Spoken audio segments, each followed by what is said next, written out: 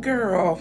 So I had to respond to this comment because no. So I made this video about not going back to your past, right? And one of the beautiful humans we share this planet with said, if the shoe is on the other foot, wouldn't you want to be forgiven and second chance? But we preach about the God of second chances. Wow. First of all, in the video, I said don't go back to your past because it ain't nothing there for you. I said what I said. That's fact. Second of all, I didn't say anything about forgiving the past. You can forgive somebody for what they did to you in the past all day, but forgiveness does not mean you be a fool. Yes, people reconcile.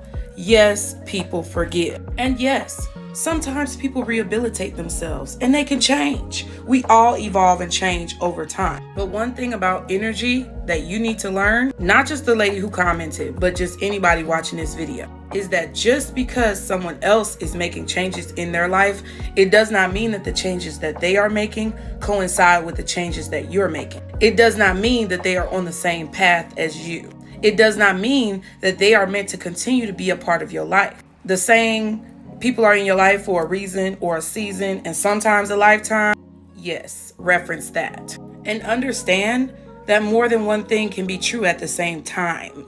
You can forgive, but you can also move on and not be foolish. Even if someone from your past has changed their ways, it still doesn't mean that they are on the same timeline with you. They may not be moving as fast as you, and therefore their energy of procrastination or slow movement may influence your life negatively. So you can communicate, you can have a conversation all day. Y'all can talk about how far you've come, where you're going, all those beautiful things. But it does not mean that you play a fool to your past.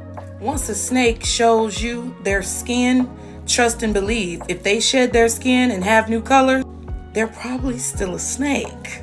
And if you really want to break it down, since you're talking about God and we getting biblical, all of this forgiveness, illusion, foolishness, malarkey, and tomfoolery was created in the Christian religion for slaves to forgive the mistreatment that was being done to them by their masters. Forgiveness was not taught with boundaries. Forgiveness was taught to brainwash you and allowing someone else to abuse you. And it's the same rhetoric like that that has put a lot of black women in bad positions with black men who really don't want to change. So don't be a fool and don't go back to your past. Because like I said, ain't nothing there for you. Now y'all go subscribe to Mom Genes by Nutcase on YouTube.